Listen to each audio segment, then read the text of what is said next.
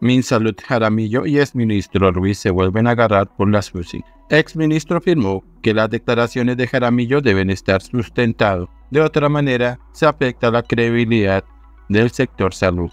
Una nueva controversia desató ayer el ministro de Salud, Guillermo Jaramillo, al referirse como un negocio a la instalación de camas en las unidades de cuidados intensivos, UCI, durante la pandemia por COVID-19 en Colombia les pagaban por camas abiertas en cuidados intensivos. Entonces todo el mundo se puso a hacer cuidados intensivos.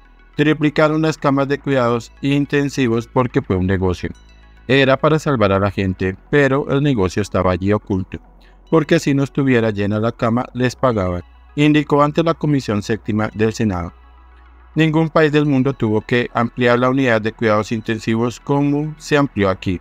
Hay que tener respeto por las unidades de cuidados intensivos, también por las enfermeras y por los médicos, porque ahí es donde se salva la verdadera vida, manifestó el ministro quien recientemente fue blanco de ataques por cuestionar la efectividad de las vacunas contra el coronavirus.